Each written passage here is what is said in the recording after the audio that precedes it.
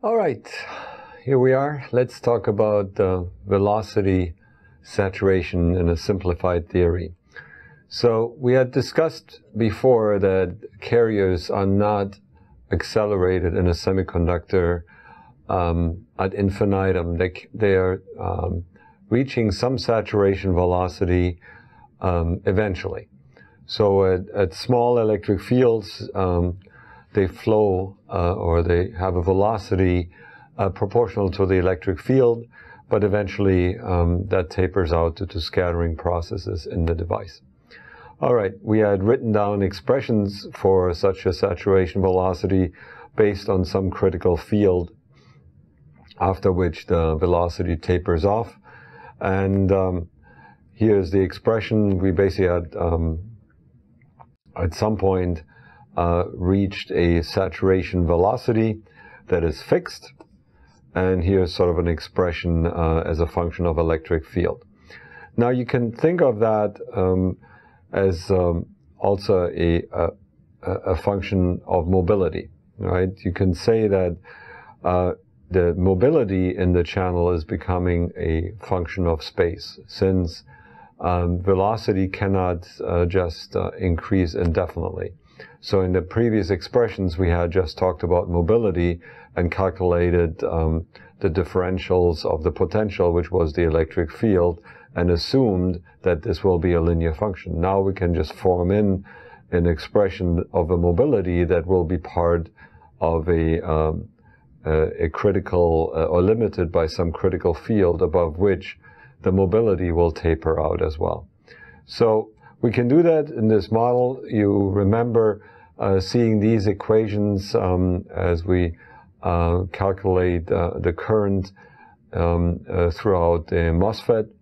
And what we've done is integrate um, the charges uh, along the channel and calculated their acceleration in the channel as well. So we had these mobility terms times electric field times charge, uh, giving us a current flow in each segment of the device. And then we summed up the, the integral. Now we could argue that um, uh, well, beforehand we had uh, divided out the mobility and pulled out the mobility and just were left with the integration of charges. But now we could uh, consider the mobility as part of, a, of the integral as well. All right, so so let's do that. Where um, we're uh, now including the mobility uh, uh, expression explicitly in in the sum, and um, carry this calculation forward. So we have a charge distribution, we have a velocity distribution, and somewhere in the channel, as a function of the uh, potential, we will saturate the mobility. All right, so you can carry out this calculation and introduce, um, uh, instead of the sum over discrete elements, we'll of course do the integral uh, along the channel. And just as what we've done before, we integrate here over the uh, distribution of the potential uh, due to the drain voltage uh, along the channel. Again, this integral here we can do, it's just, um, it is linear in voltage, so it turns into linear in square. We integrate it up from 0 to VD. That's again the square law we had seen before, but now we have the mobility built into the integral on the left-hand side. Okay? Um, now we split out uh, this double integral. One is a function of distance, the other is a function of, of voltage. Uh, and you get an expression that's a, a, little bit more lengthy, but it has the electric field in the, uh, the critical electric field at which the, uh, the carriers will be saturated uh, built in. Okay, so now you have a new uh, JD that now has the critical field in it and we can look at this expression in a, li a little bit more detail. Okay?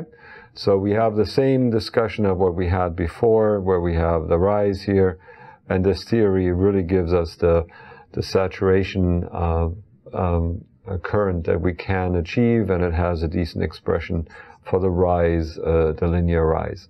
But let's look at this in regard to uh, the distance of the channel, right, vis-a-vis -vis the, the channel length and the critical length of the device.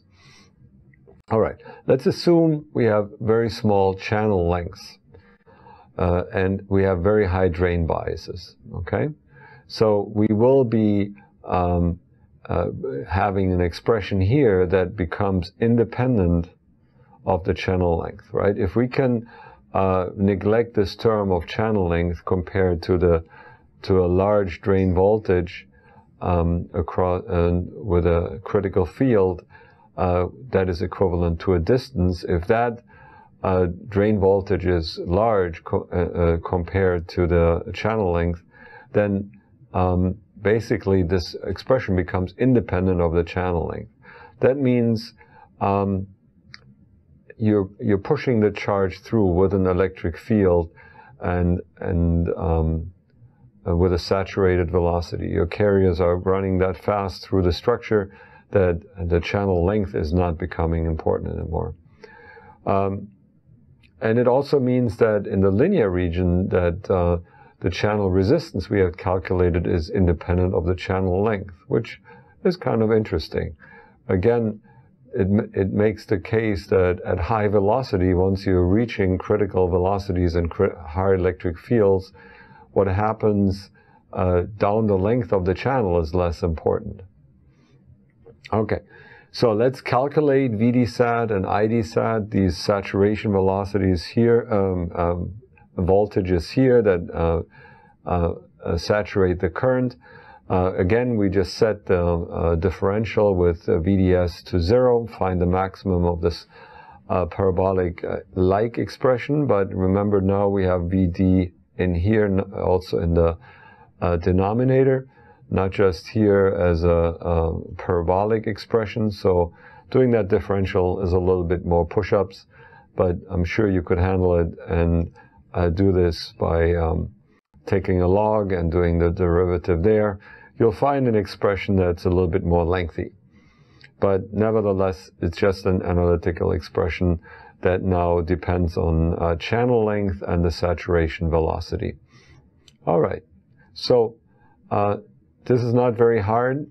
Uh, you can uh, just notice that this saturation uh, voltage is now smaller than the original voltage we had uh, here. Okay, so uh, effectively uh, the the voltage by which the system is saturating is getting reduced. Okay, so the you're not pushing as much current into the system like this which also then means um, uh, in this expression, if you plug in the saturation uh, voltage into this expression, your current will also, uh, also be slightly altered. Okay. Now, let's look at uh, uh, the behavior when we make this channel really short. Okay. Let's look at the saturation uh, voltage when we make the channel short. You can expand this. You have um, Vg minus V threshold in here and in here.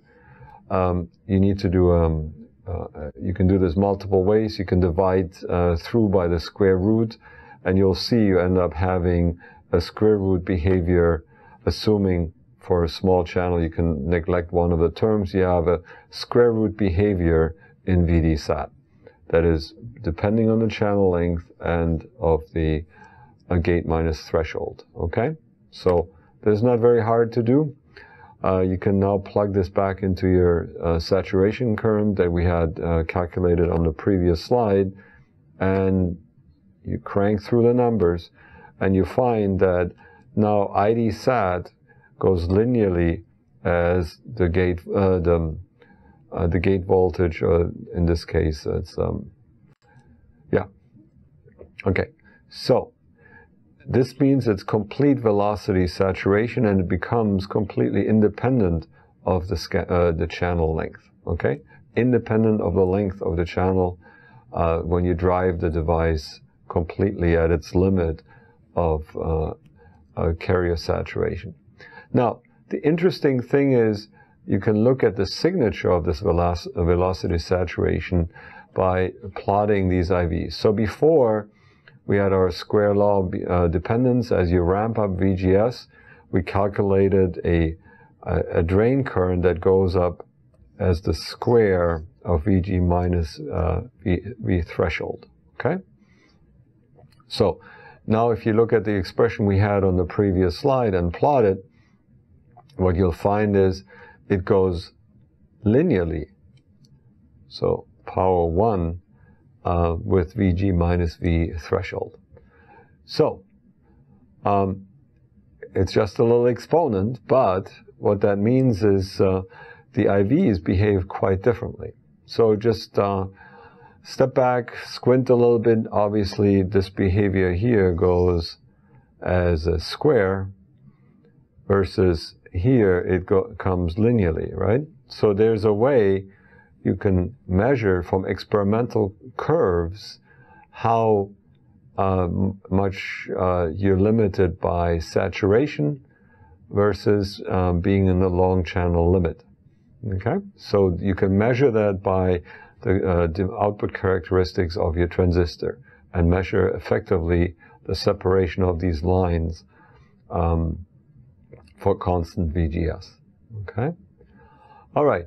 So in practice, that means uh, you can measure transistors and your behavior is somewhere proportional Vg minus V uh, threshold to a power of alpha, where alpha is between 1 and 2. So if you're at 2, you're in the long channel limit.